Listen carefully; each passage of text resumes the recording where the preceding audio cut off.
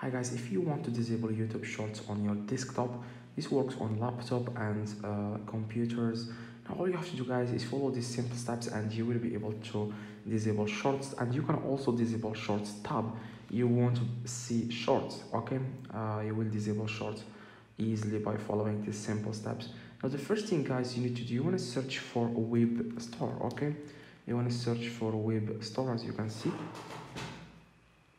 now after guys you search for web store you want to up click on web store click, click on chrome web store. By the way i am using google chrome. So um, yeah you want to search in the top left search for shorts blocker. Now after guys you search for shorts blocker a few extensions will come up here. Now you want to select the first extension as you can see make sure it has the same logo youtube shorts block some like make sure it's the same. After you are, you are sure that it's the same click on it and then click on add to chrome as you can see. Add to chrome and then click on add the extension. Now after guys you click on add extension you want to pin it. You want to click where you can pin here. Click on it. Here as you can see i clicked on here and then click pin you can see here youtube shorts. Click pin here. After you pin it you will find the extension now in the top.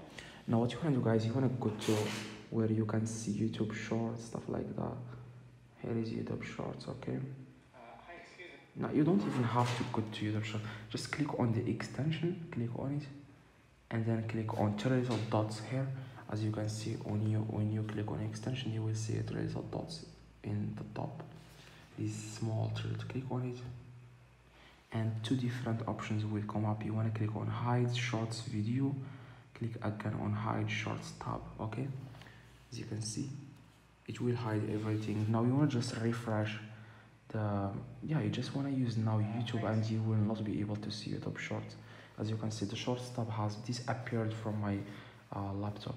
Now that's exactly guys how you can hide youtube shorts uh, on your desktop. If this video helped you please drop a like subscribe. Let me know in the comments if this works see you guys in the next video